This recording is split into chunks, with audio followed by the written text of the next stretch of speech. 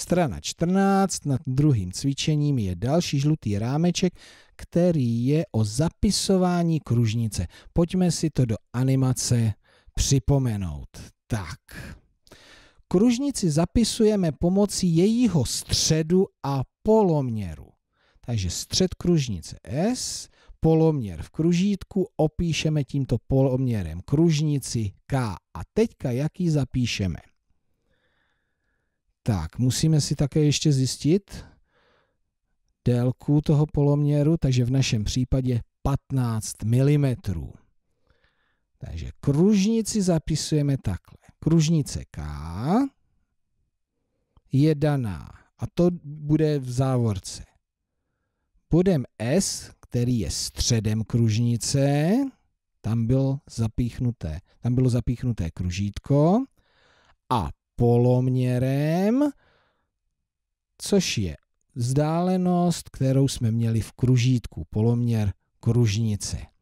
Takže jednoduché zapsání a čteme kružnice K se středem S a poloměrem 15 mm.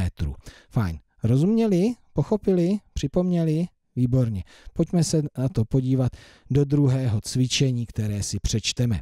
Rozhodněte, zda je na obrázku kružnice narýsovaná dle zápisu. Takže si vždycky přečteme zápis a potom budeme se dívat na ty kružnice, jestli odpovídají tomu zápisu. Kružnice K se středem S a poloměrem 2 cm. Takže vidím kružnici K, vidím střed S, ale na to, zda má 2 cm, na to si vám pravítko. No ne, ne, ne. Takže toto není kružnice, pokud, která je tady daná zápisem. Pokud bych ji chtěl napsat správně, tak by to byla kružnice K se středem S a ten poloměr byl pouze 1 cm. Tak, jdeme dál. Kružnice D se středem T poloměrem 15 mm.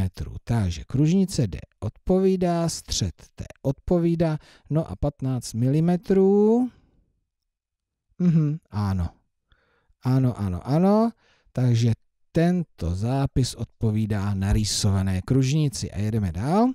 Kružnice M se středem S poloměrem 1 cm. Kružnice M.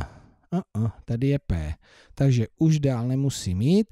No ale pro jistotu si to ještě projdeme a zkusíme napsat, jak by to mělo vypadat. Takže tato kružnice se nazývá kružnice P se středem S a já mám takový dojem, že je stejně veliká nebo má stejný poloměr jako ta úvodní. Mhm.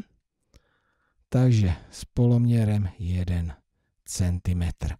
Tak, fajn, podíváme se na řešení. Výborně, takže jsme si tady připomněli zapisování kružnice pomocí středu a poloměru.